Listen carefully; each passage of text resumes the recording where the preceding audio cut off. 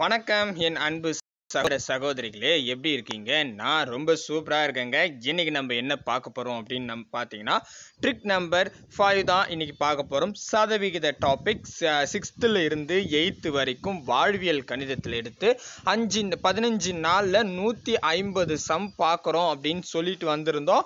அந்த வரிசையில் இன்னைக்கு வந்து அஞ்சாவது நாள் கிளாஸ் இன்னைக்கு வந்து பார்த்தீங்கன்னா ரொம்ப ரொம்ப கஷ்டமான கணக்கு க கணக்கு தான் சரிங்களா? பட் ரொம்ப ஈஸியாக போடலாம். அதுவும் மின்னல் வேகத்தில் போடலாம். இதை ஃபார் எக்ஸாம்பிள் பாருங்கள் ஒரு புத்தகத்தின் விலை இருபது சதவிகிதம் தள்ளுபடி செய்தாலும் ஒரு வியாபாரிக்கு பத்து சதவீதம் லாபம் கிடைக்கிறது. அப்பொருளின் குறித்த விலை என்ன அப்படின்னு கேட்டிருக்காங்க. ஸோ நானூற்றி நாற்பது குறித்த விலை கேட்டுட்டு அடக்கு விலை கேட்டிருக்காங்க. ஜஸ்ட் நான் என்ன பண்ண போகிறேன்னா இதோட ப என்ன நூற்றி பத்து. இதாக கூட வந்து பார்த்தோன்னா ஒரு எண்பது க எண்பது சரிங்களா? ஸோ ஜீரோக்கு ஜீரோ கேன்சல் இதில் வந்து ஒரு பதினொன்று பதினொன்று நான் பதினொன்று நாற்பத்தி நாலு நாலு எட்டு எவ்வளோ வரப்போகுதுன்னு பார்த்தீங்கன்னா ஜஸ்ட் நாலாக கூட ஒரு எட்டை பெருக்கிட்டிங்கன்னா முப்பத்தி ரெண்டு முந்நூற்றி இருபது ஆன்சர் அவ்வளோதான் இங்கே முடிஞ்சு போச்சு. எவ்வளோ சிம்பிளாக சொல்லிட்டேன் பாருங்கள் இந்த மாதிரி மின்னல் வேக ஷார்ட்கட் பார்க்கணுன்னா கண்டிப்பாக இந்த வீடியோ ஃபுல்லாக ஸ்கிப் பண்ணாமல் பார்த்தா மட்டும்தான் தெளிவாக புரியும். ஸோ இந்த மாதிரி ஷார்ட்கட் எல்லாமே தெரிஞ்சுக்கணும்னா கண்டிப்பாக நம்ம சேனலை சப்ஸ்கிரைபிள் பண்ணி வச்சுங்க. கூடவே பக்கத்தில் இருக்கிற பெல் ஐக்கானை ப்ரெஸ் பண்ணி ஹால் இருக்கும் அதை செலக்ட் பண்ணிட்டீங்கன்னா நம்ம போடுற வீடியோ உடனுக்குடன் நோட்டிஃபிகேஷனாக வரும். இந்த வீடியோ பிடிச்சிருந்தா மட்டும் உங்கள் ஃப்ரெண்ட்ஸுக்கு லைக் பண்ணுங்கள் அதாவது லைக் பண்ணுங்கள் உங்கள் ஃப்ரெண்ட்ஸுக்கு ஷேர் பண்ணுங்கள் பிடிக்கலனா ஒன்றும் பிரச்சனை இல்லை டிஸ்லைக் பண்ணிடலாம். அது மட்டும் இல்லாமல் நம்ம டெய்லியுமே பத்தாயிரத்துக்கு மேற்பட்ட கொஷின்ஸ் வந்து டெய்லி டெஸ்ட்டாக வச்சிட்ருக்கோம் சிக்ஸ்த்து டு டுவெல்த் வரைக்கும் social science plus Tamil test current affair மற்றும் இன்னைக்கு இந்த கிளாஸ் இப்போ நம்ம எடுக்கிறோம் இல்லையா? இந்த டெ இந்த கொஷினுக்கான ஆன்லைன் டெஸ்ட்டும் கீழே டிஸ்கிரிப்ஷனில் கொடுத்துருக்கேன். எல்லாத்தையும் ஒன் பை ஒன்னாக நீங்கள் டெஸ்ட்டை அட்டன் பண்ணி பாருங்கள் சரி வாங்க பார்க்கலாம். ஸோ இந்த கொஷின் பொறுத்த வரைக்கும் நான் முக்கியமான சில கீவேர்ட் சொல்ல போகிறேன் அந்த கீவேர்டை நோட் பண்ணி வச்சுக்கோங்க. அதுதான் ரொம்ப இம்பார்ட்டன்ட் இதிலே எழுதியிருப்பேன். அடக்க விலைன்னு எழுதியிருப்பேன். மூணு சம்மு அதுக்கப்புறம் வந்து பார்த்தீங்கன்னா விற்பனை விலை அப்படின்னு நான் சொல்லியிருப்பேன். இந்த ரெண்டுத்துலேயும் எதை கேட்குறாங்களோ அதுக்கு தகுந்த மாதிரி நம்ம நம்பர்ஸை வகுக்க வேண்டியதாக இருக்குங்க.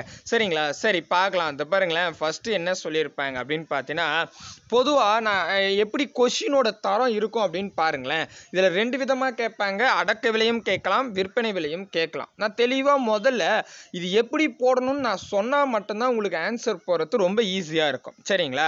அதாவது நீங்கள் ஒரு பொருள் வந்து வாங்க போகிறீங்க ஒரு ஷர்ட் வாங்க போகிறீங்க அப்படின்னு வச்சுக்கோங்க. அதில் வந்து அந்த ஷர்ட் வந்து உங்கள் எதிர்க்கவே என்ன பண்ணிடுறாங்க? அதில் வந்து ஒரு ஆயிரரூபா போட்டிருக்கு. சரிங்களா? ஆயிரரூபா போட்டிருக்குது. அந்த ஆயிரரூபாவை உங்கள் கண் முன்னாடி இருபது சதவீதம் லெஸ் பண்ணிடுறாங்க. தள்ளுபடி பண்ணிடுறாங்க. டிஸ்கவுண்ட் பண்ணுறாங்க சரிங்களா? ஸோ இருபது சதவீதம் தள்ளுபடி பண்ணிடுறாரு. சரிங்களா? உடனே உங்களுக்கு என்ன இருக்கும்? ஹாப்பியாக அடே டே டே. நான் இருபது சதவீதம் நான் போவே தள்ளுபடிப்பா அப்படின்னு சொல்லிட்டு நீங்கள் இருபது ச- ஆயிரம் ரூபாய்க்கு இருபது சதவீதம் தள்ளுபடி பண்ணி ஒரு எட்நூறுபா கொடுக்குறாங்கன்னு வச்சுங்க. அந்த எட்நூறுபா நீங்கள் கொடுத்துட்டு வாங்கிட்டு வந்துடுறீங்க. ஹாப்பியாக இதுக்கப்புறம் அந்த கடைக்காரருக்கு வந்து இதனால் என்ன ஆகுதுன்னா நீங்கள் எட்நூறுபாய்க்கு வாங்கிட்டீங்க. உங்களுக்கு இருபது சதவீதம் லாபம். ஓகே அது விட்டுருங்க.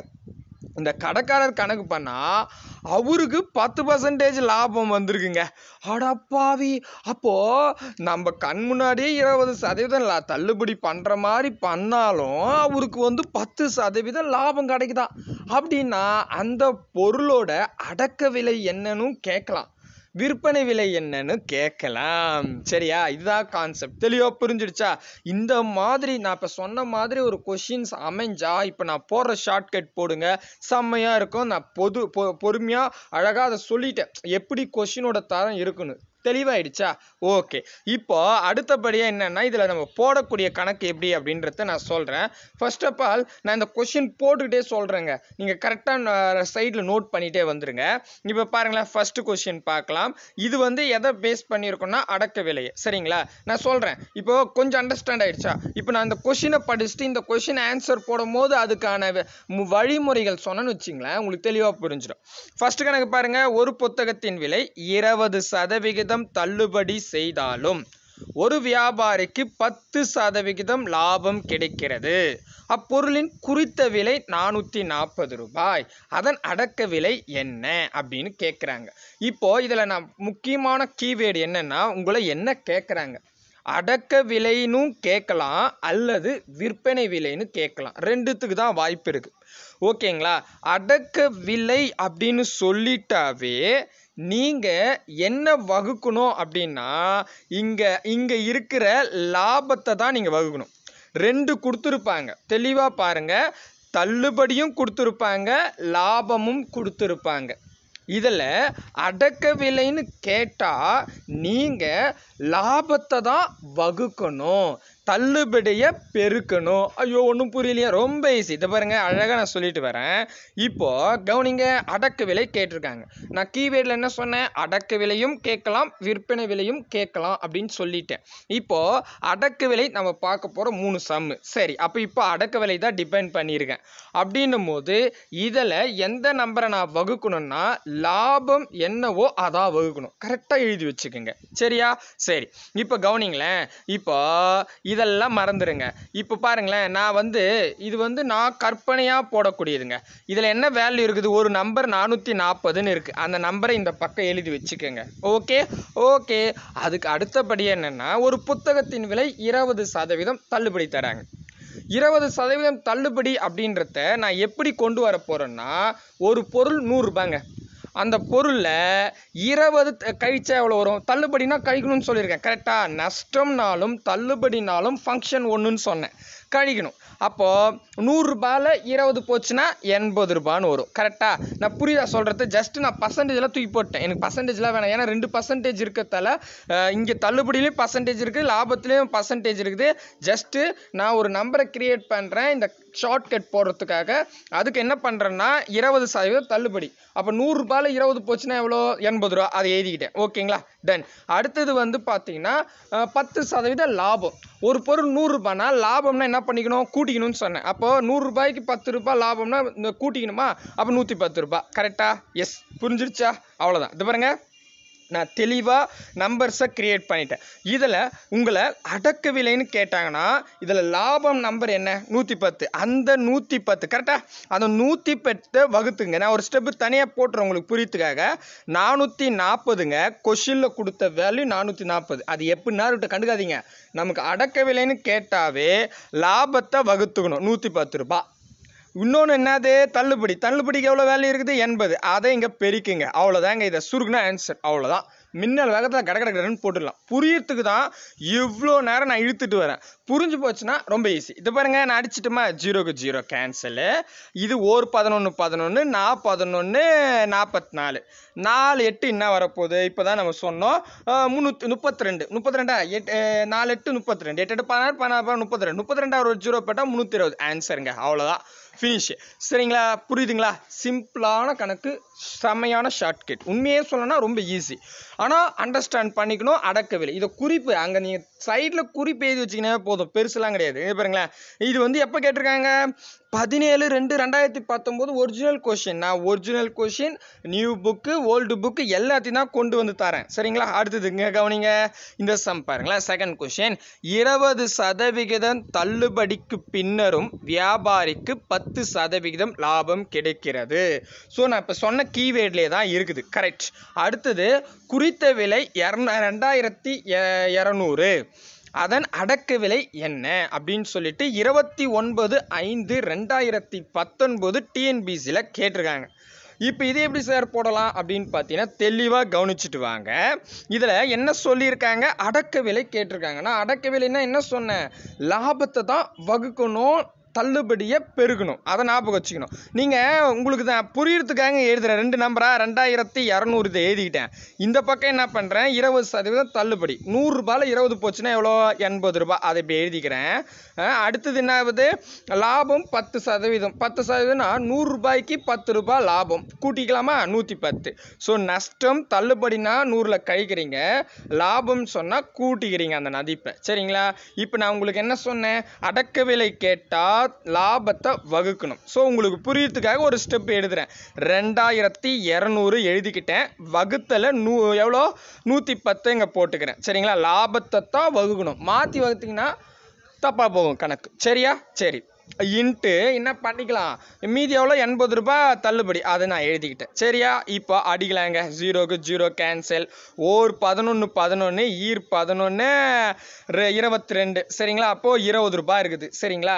ஸோ இப்போ என்ன ஆக போகுது? ஜஸ்ட்டு எண்பதாக கூட இருபது பேருக்கு போகிறீங்க ரெண்டாக கூட எட்டை பேருக்குன்னா ஓர் எட்டு எட்டு ஈரெட்டு பதினாறு. பதினாறு ஒரு ரெண்டு ஜீரோ சேர்த்துக்கலாமா?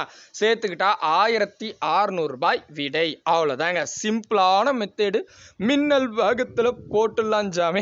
புரியுதுங்களா? அடுத்தது பார்க்கலாம். இங்கே பாருங்க மூணாவது செம்ம ஸோ சிம்பிளாக இருக்கும். இது எயித்து புக்கில் தேர்ட் டைமில் ஓல்டு புக்கில் பதினேழாவது பேஜ் நம்பரில் இருக்குதுங்க. இது எப்படி போடலாம் அப்படின்னு பார்த்தீங்கன்னா ஒரு புத்தகத்தின் விலை பத்து சதவிகிதம் தள்ளுபடி செய்தாலும் ஒரு வியாபாரிக்கு பத்து சதவிகித லாபம் கிடைக்கிறது. அப்புத்தகத்தின் குறித்த விலை ரூபாய் இரநூத்தி இருபது எனில் அடக்க விலையை காண்க. ஸோ நம்ம சொன்ன மாதிரியே இருக்குது அடக்க விலை கேட்டிருக்காங்க. மைண்டில் மறுபடியும் மறுபடியும் சொல்கிறது அடக்க விலைன்னா லாபத்தை வகுக்கணும். விற்பனை விலைன்னா தள்ளுபடியை வகுக்கணும். சரிங்களா? இப்போ நம்ம பார்க்க போகிறது அடக்க விலை ஸோ முதல்ல இதே மாதிரி நம்ம உங்களுக்கு புரியத்துக்கு தான் இந்த நம்பர் செய்கிறேன் இரநூத்தி இருபது வேல்யூ கொடுத்துருக்காங்க. இதை அப்படி வச்சுக்கலாம். நெக்ஸ்ட் என்னென்னா பத்து சதவீதம் தள்ளுபடி. பத்து சதவீதம் தள்ளுபடின்னா கழிக்க போகிறீங்க நூறில் பத்து போச்சுன்னா எவ்வளோ? தொண்ணூறு. சரிங்களா?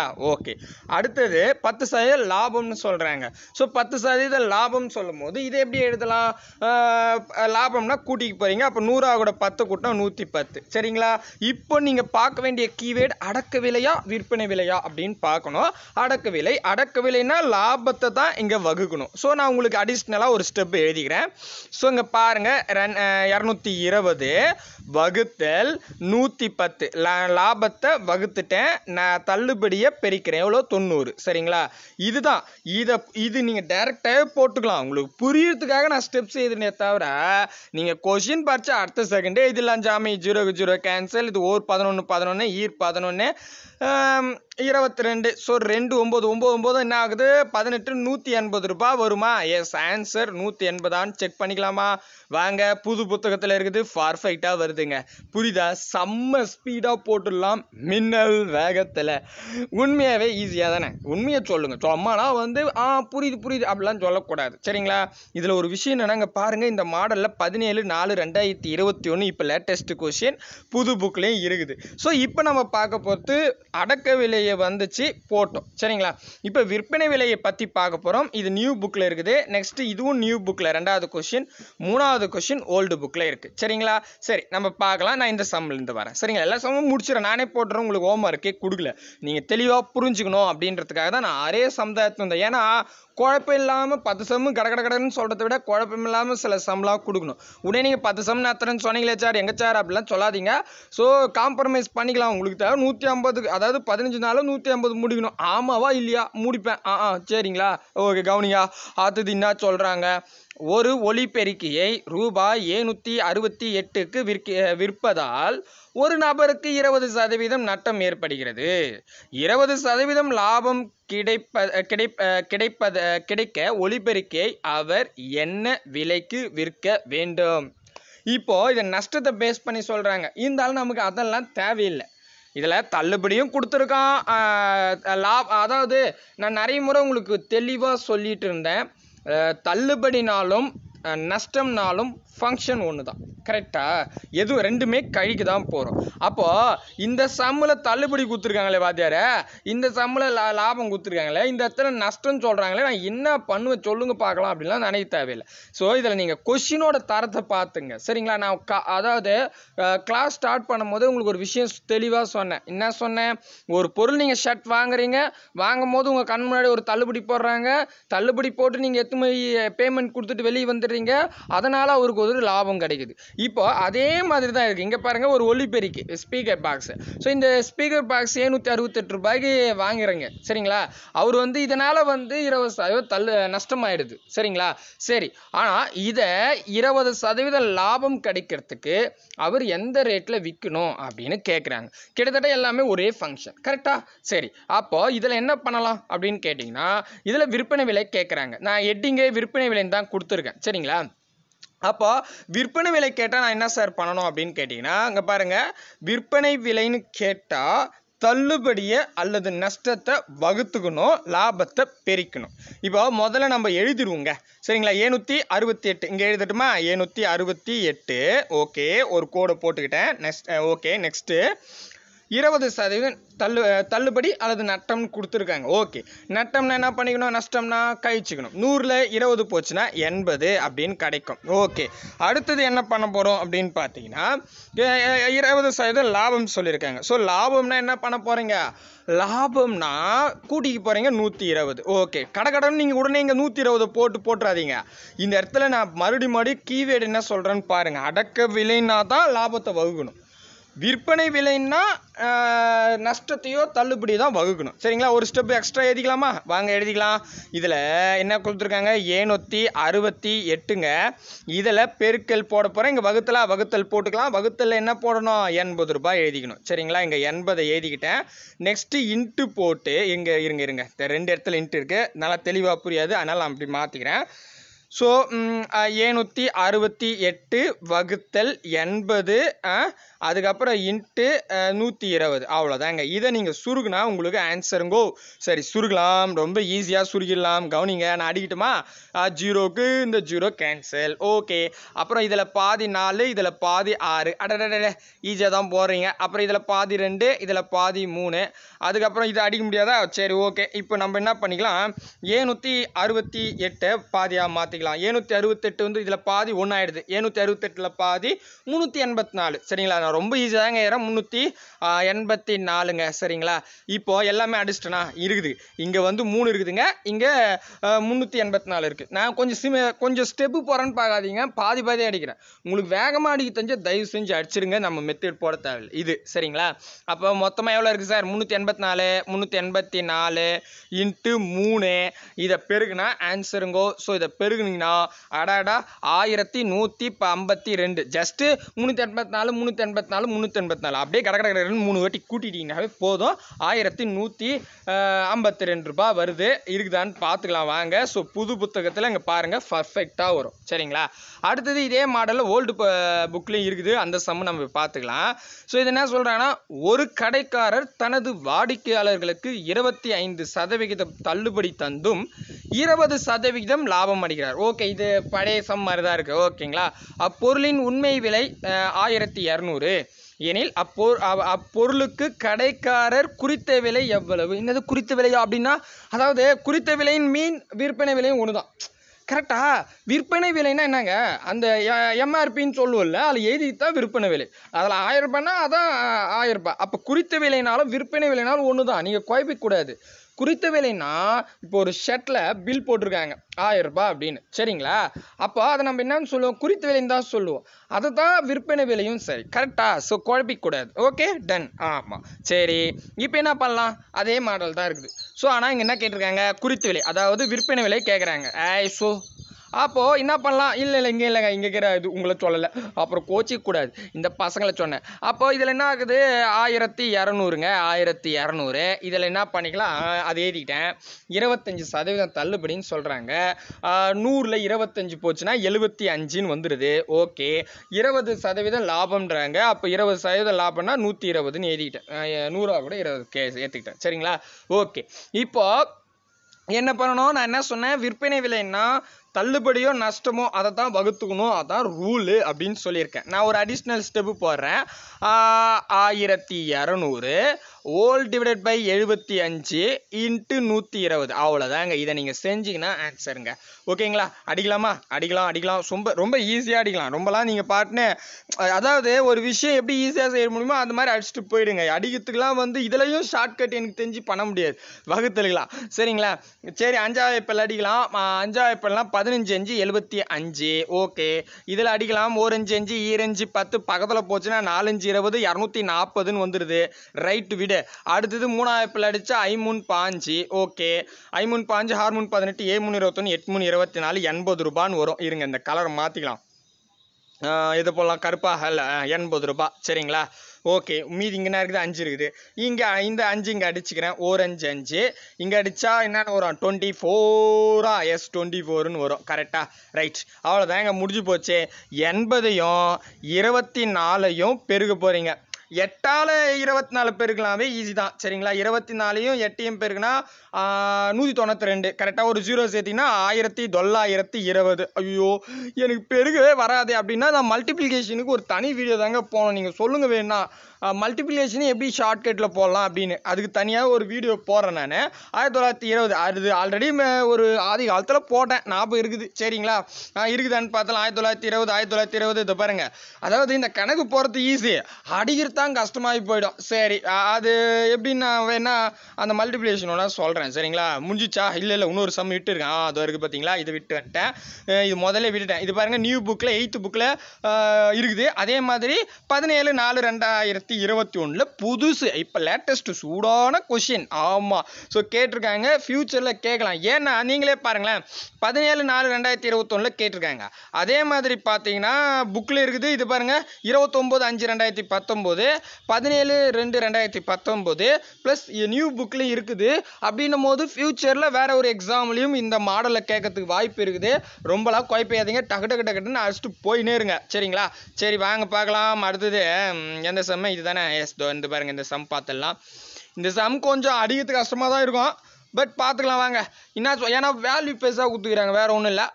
மிதிவண்டி ஒன்றை ஒரு கடைக்காரர் நாலாயிரத்தி இரநூத்தி எழுபத்தி ஐந்துக்கு விற்பதால் அவருக்கு ஐந்து சதவீதம் நஷ்டம் ஏற்படுகிறது நட்டம் ஏற்படுகிறது. ஐந்து சதவீதம் லாபம் பெற வேண்டுமெனில் அவ் மிதிவண்டியை என்ன விலைக்கு விற்க வேண்டும் அப்படின்னு கேட்டிருக்காங்க. ஓகே. இது வந்து இதே காப்பி பேஸ்ட் கொஷின் தான். பதினேழு நாலு ரெண்டாயிரத்தி இருபத்தொன்று ஏஓ எக்ஸாம் அதாவது அக்ரிகல்ச்சர் எக்ஸாம்லேயும் இதே சம் தான் கேட்டிருக்காங்க. ஓகே. இப்போ வந்து நமக்கு தெரிஞ்சிருச்சு நஷ்டம் தெரியுது லாபம் தெரியுது. இதில் என்ன சொல்கிறாங்கன்னா விற்பனை விலை. விற்பனை விலைனாவே நஷ்டத்தை தான் நம்ம வகுக்கணும். நம்ம முதல்ல இந்த நம்பர் செய்திகளாக நாலாயிரத்தி இரநூத்தி எழுபத்தி அஞ்சு. ஒரு கோடை போட்டுக்கிட்டு அஞ்சு சதவீதம் நஷ்டம் அப்போ தொண்ணூத்தஞ்சு ரூபா. அஞ்சு சதவீத லாபம் அப்போ நூற்றி அஞ்சு ரூபா. ஓகே இது தாங்க இப்போ என்ன பண்ணணும்? நல்லா பார்க்கணும். அடக்கு விலையாக இருந்தால் லாபத்தை வகுக்கணும். விற்பனை விலையாக இருந்தால் நஷ்டத்தை வகுக்கணும். அவ்வளோதான் மிஞ்சி போச்சு. இப்போ நான் பாருங்கள் ஒரு ஸ்டெப் எழுதிக்கலாம். நாலாயிரத்தி இரநூத்தி எழுபத்தி இருங்க இரநூத்தி எழுபத்தஞ்சு சரியாக வரல. இரநூத்தி எழுபத்தி அஞ்சு ஹோல் டிவைடட் பை தொண்ணூற்றி அஞ்சா? எஸ் தொண்ணூற்றி அஞ்சு இன்ட்டு தொண்ணூத்தஞ்சு தானே? எஸ் நூற்றி அஞ்சு. அடேங்கப்பா. என்னங்க அது? இதில் எப்படி அடிக்கிறதுனான்னு என்னவோ நீங்கள் சொல்கிறீங்க இந்த மாதிரி கணக்கெலாம் கேட்டால் எனக்கு என்னவோ ஒரு மாதிரியாகவே இருக்குதுங்க அப்படின்னு நீங்கள் சொல்கிறது தெரியுது. என்ன பண்ணுறது அடிக்கலாம் வாங்க. நான் மறுபடியும் சொல்கிறேன் இப்போதைக்கு இது மாதிரி போட்டுங்க. அது அடிக்கிறது பெருக்கிறதுக்குலாம் நான் தனியாக ஒரு வீடியோ போடுறேன். ஏன்னா இந்த மாதிரி பெரிய நம்பர்ஸ்லாம் கேட்டாங்கன்னா ஏன்னா ரேரு அதிக முறை நமக்கு சிம்பிளாக நம்ம தான் கேட்பாங்க. சம்டைம் இந்த மாதிரி வந்துடும் இதுக்கு நான் ஷார்ட்கட் வந்து தனியாக தான் உங்களுக்கு போட்டால் தான் இந்த இடத்துல புரியும். சரிங்களா? இப்போ வந்து நான் அந்த ஷார்ட்கட் எடுத்துனா அதுக்கே வந்து ஒரு ஆஃப் அன் ஹவர் ஓடுற மாதிரி ஆகி போயிடும். சரிங்களா? இப்போதைக்கு நார்மலாக நான் அடிக்கிற மாதிரி அடிச்சு போடுறேன்.